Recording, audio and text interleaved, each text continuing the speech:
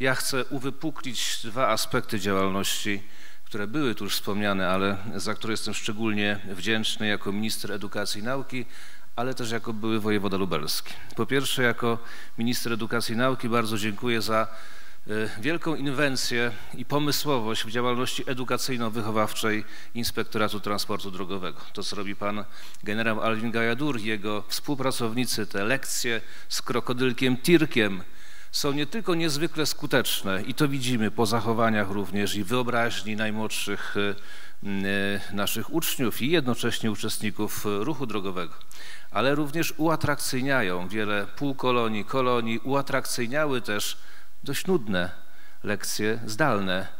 W tym czasie ta wasza działalność edukacyjna miała nie tylko walor sam edukacyjny, ale również taki właśnie, e, taki właśnie uatrakcyjniający ten trudny czas dla uczniów. Y, dziękuję również za współorganizowanie i udział w rajdach rowerowych, do których, może to nie widać, ale to ja namówiłem pana generała Alwina Gajadura i będziemy to kontynuować, bo to się cieszy wielkim, wielkim uznaniem ze strony młodzieży i dzieci. Natomiast jako wojewoda lubelski były, Chcę podziękować za tę państwowo twórczą działalność Inspektoratu Transportu Drogowego i tu, jest, tu są podziękowania zarówno dla pana ministra, jak i dla pana ministra Andrzeja Adamczyka.